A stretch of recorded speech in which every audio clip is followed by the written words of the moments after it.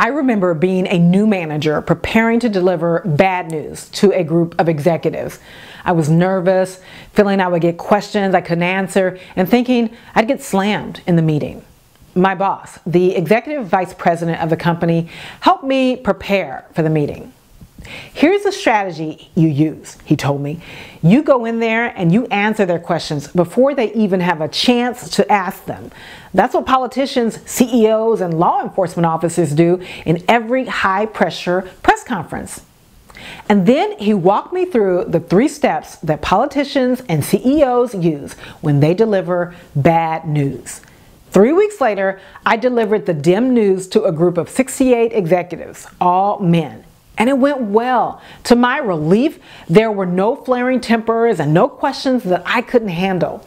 There were very few questions, in fact. Using the three steps my boss shared with me, I was able to reframe the problem to a focus on what we were doing about the problem. This reframing positioned me to preempt an escalation.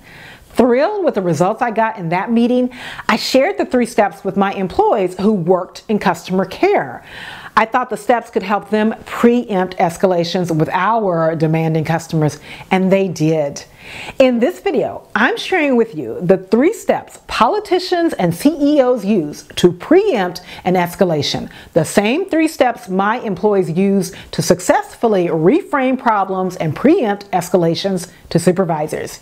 Using these steps, you'll be able to reframe the problem. That is, you'll move the customer from the past problem and go right into finding a present solution so that everybody can just move on.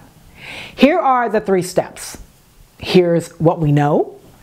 Here's what we've done. Here's what's next. When you want to keep a conversation from escalation, you just walk the customer through the steps. Here's an example of how a young man used the three steps on my husband when he had some awful news to deliver.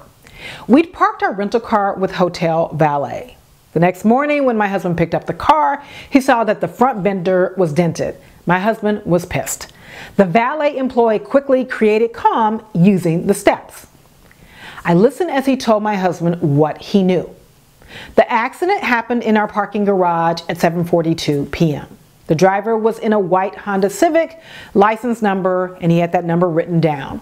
The driver sped off and left the scene. Then he explained what they'd done. We filed a claim with our loss prevention team. We have two eyewitnesses.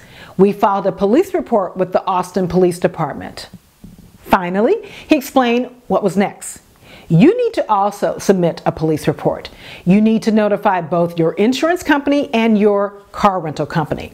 Your insurance company will go after the driver. Now, I'll be honest, my husband was still mad, but he was calmer and the situation didn't escalate. And so the valet was successful in de escalation. When you need to preempt an escalation in aggression with a customer, do it by using the three steps politicians and CEOs use. Say what you know, explain what you've done, and then tell the customer what's next. When you use these steps, you'll reframe the problem, create calm, and you'll be in control of the conversation.